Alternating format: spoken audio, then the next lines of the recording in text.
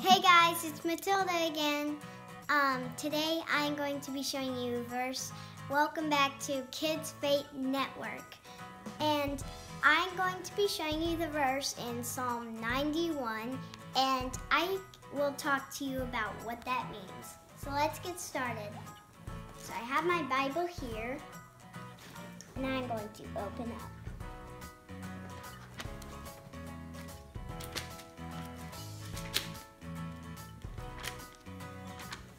Here we go.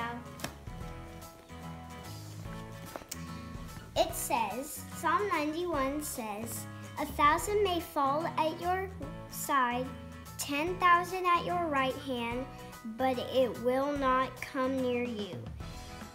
You will only observe with your eyes and see the punishment of the wicked.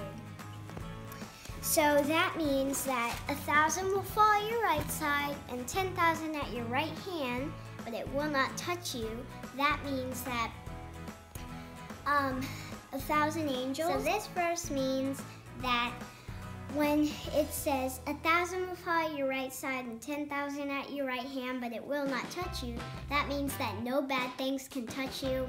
And Jesus up in heaven, he is always watching down on you and he he will kick any bad thing that tries to come near you, but it won't. All right, guys, I hope you had fun learning Psalm 91. And if you liked it, please give it a big thumbs up and subscribe to Kids Faith Network. Thank you so much for watching, and we'll see you next time. I love you so much. Bye.